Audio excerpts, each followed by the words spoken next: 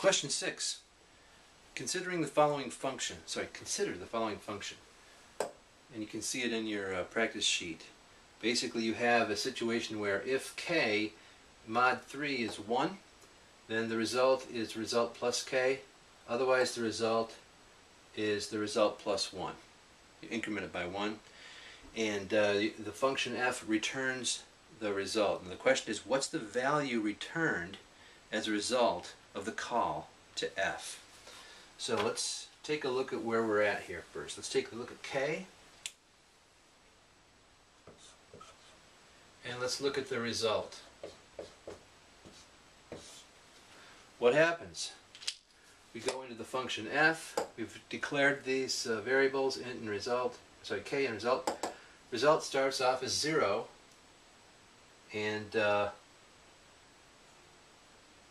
k starts off at 0. So k starts off at 0 and what happens is the result starts off at 0 but we're going to do this after it runs the loop. So it starts here and we do k mod 3. k mod 3 is 0 so it does not equal 1 so the result gets result plus 1. We loop. We loop again. This time k equals 1.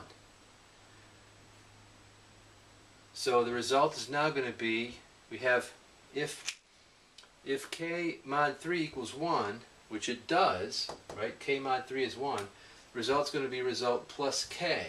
Well, k is already 1, so it's going to be 2, which is basically 1 plus 1, 1 plus k. Now we loop again. k now becomes 2. When k is 2, does k, does k mod 3 equal 1?